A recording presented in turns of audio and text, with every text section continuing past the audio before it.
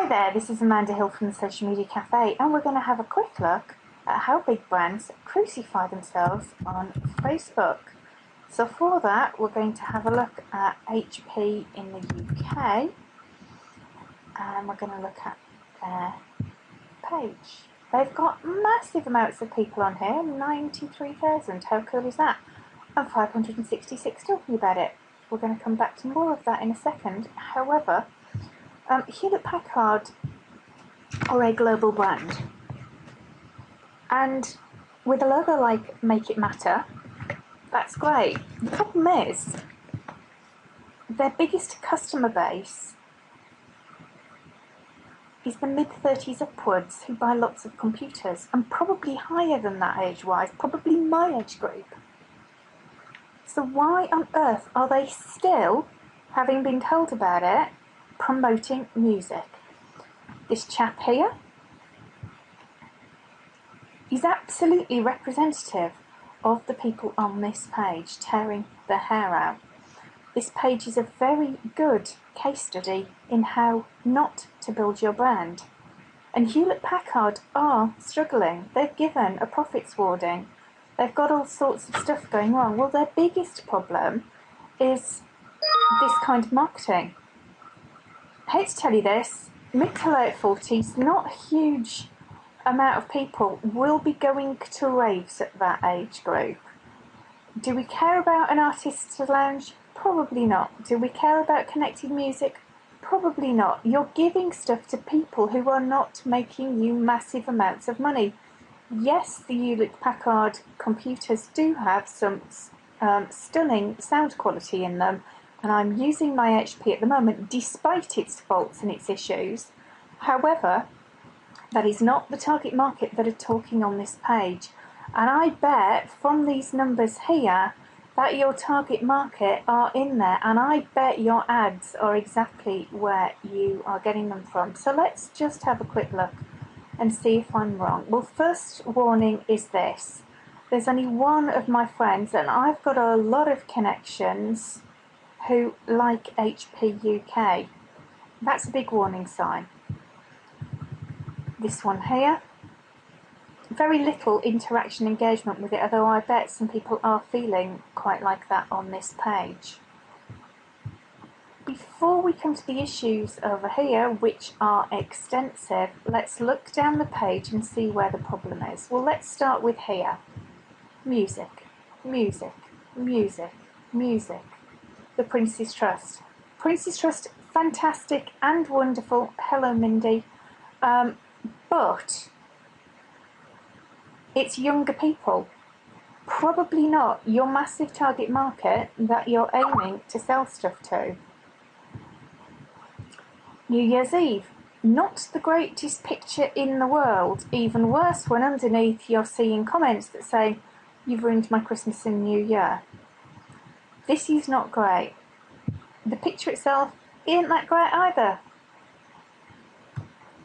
Even worse, nobody responding. If you're going to respond, it absolutely must be public.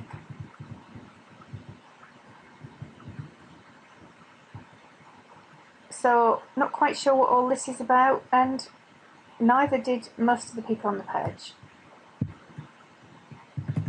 A sales discount, fine, but only four people are liking it. That's not cool. You should be getting far more than that.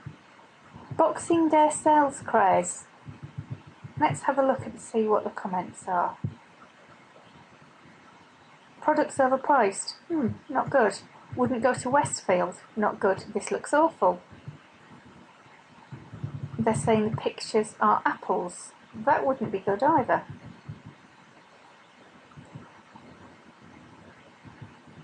None of this stuff here is really good at all. And they're being attacked everywhere. Oh, and Wayne Lewis has a point. Advertising sale whilst encourage you to get away from sales. Hmm, hello. He is spot on there. So, Christmas picture. Really? Is that the best you can do? Looks like a Christmas card some child would send from school. and then you get another negative comment, which nobody has bothered listening to. We really don't have a lot going on on this page. It really isn't great.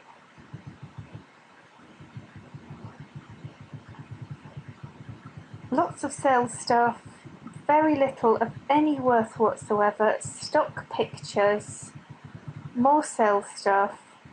Oh, and more problems. Although somebody actually has said sorry.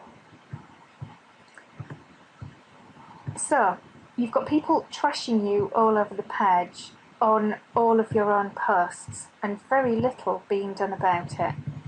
So let's go and have a look at recent posts by others. And actually, could hide this. I wouldn't, but they could. So let's go and have a look through that and see what's going on. Missing keys, no response whatsoever, not even the standard one. Is there a customer service number? No response. Dismal level of customer service? No response. You've ruined my Christmas. And they respond with, please fill in the customer support form. Fantastic. Or not. No response. A standard fill in. It might as well be a copy and paste. That isn't a great way to manage a page.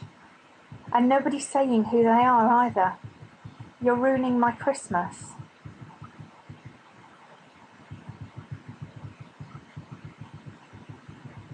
This goes on and on and on and on and on.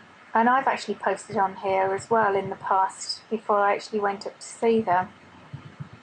And you've got people complaining, complaining, complaining, and being treated like numbers it's really not great to see how you're looking after or not looking after your customers. This is why it's not working for you and why you are profit warning.